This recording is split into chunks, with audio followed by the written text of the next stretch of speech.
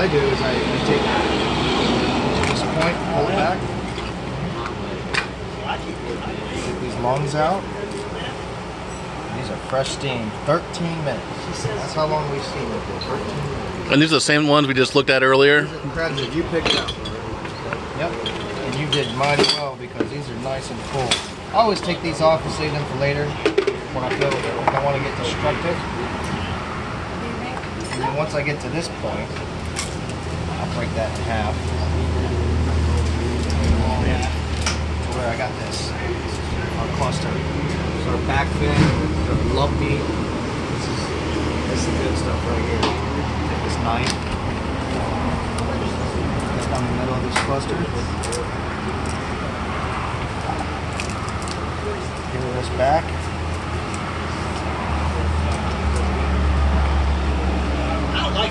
This is all the goodies right here. Back fin, beef right there. And that's all real butter, right? That's all real butter. Yep. Everybody has their own way of doing it. My wife does it different. My son does it different. I've seen people do it this way to where they just take this little crevice right here and break this to where, and then peel this back. To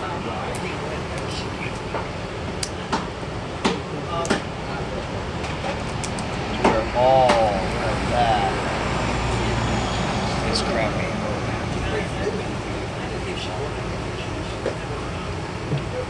Then you gotta get you some of that seasoning on there. Here you go, Jen. Do you want that? I think James should. I think you should. We're getting to Now I'm gonna flip this around and we're gonna go weird. Want me hold it? Mmm, that's one of the best crab I've had in a long time. Thank you so much. Nothing like eating crab that was swimming hours ago. Not at all. 手指可以吗